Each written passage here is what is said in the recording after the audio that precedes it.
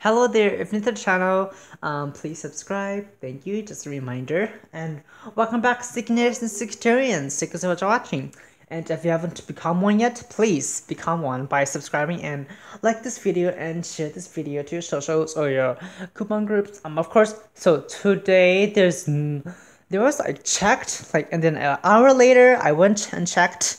There was no coupons for RetailMeNot for this week it's just so strange. Like i usually get the RetailMeNot early like today like on wednesdays but like not anymore i guess. This is like the the fourth time this is like the fifth or sixth time i haven't got any RetailMeNot or P&G for like weeks. Like every wednesday i get them because i asked the um mail truck the mailmans they always use wednesdays and tuesdays. Tuesday for SmartSources wednesdays for um uh, sometimes Tuesdays in some areas they get returned on P&G. Sometimes so, but like it depends, you know. But it's just so strange that there's no RetailMeNot. So please be kind and be generous and help send me some P&G and RetailMeNot of this week's and last week's RetailMeNot too, and also the P&G for April because I haven't got any at all.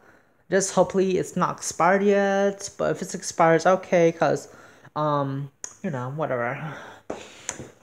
So I got like what? Um oh plus I'm gonna show you guys I have a two of twelve cosmetic CRT that expires today the 10th, so I'm gonna hurry up. I figured out this recent area that I can do. There's like um the that great free that free CoverGirl two free CoverGirl eyebrows and then two free mascaras. Um I got this scenario from the Savvy Couponer, so thank her for that. Okay, let's start reviewing. I got like what two, three, four, five, six. I got six more of these. Of course, today is um recycle bin day for the other area, so the other areas are getting recycle bin.